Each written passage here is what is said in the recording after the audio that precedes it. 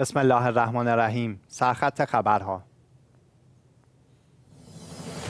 رابطه شانه به شانه میان افزایش سرقت و تورم در ایران وقتی قشر فرود است ناگزیر گرفتار این آسیب ها می شود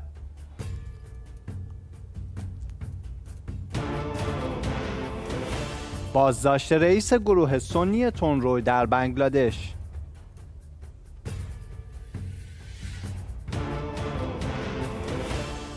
حمله انتحاری به کاروان خودروهای پلیس پاکستان.